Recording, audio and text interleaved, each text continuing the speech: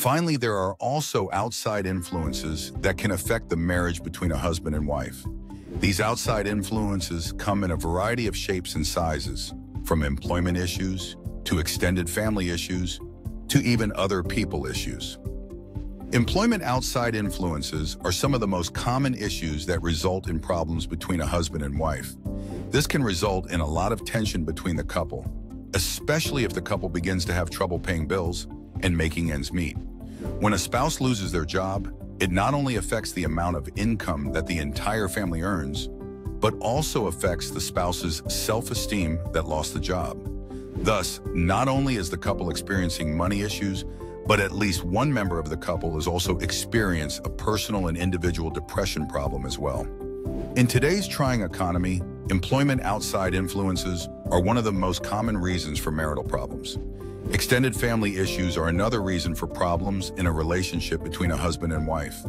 This is especially true if certain members of the extended family do not like one of the spouses.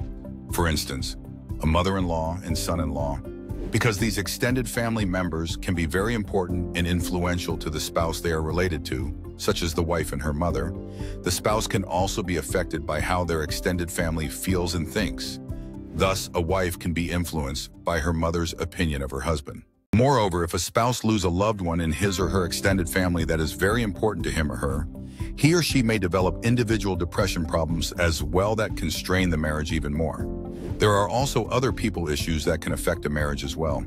For instance, if your husband's boss is continuously making him work long hours that results in you not seeing your husband as much as you would like to, it is actually your husband's fault that is causing the problem. The people that spouses may have affairs with also fall under this category, especially if they continue to interfere in the relationship between a husband and wife even after the affair is supposedly over.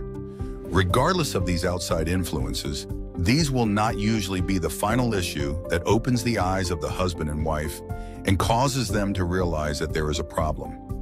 Instead, these outside influences are often the cause of individual problems, such as depression, that then eventually lead to couple problems, which are usually the final problem that causes most couples to seek help or possibly divorce.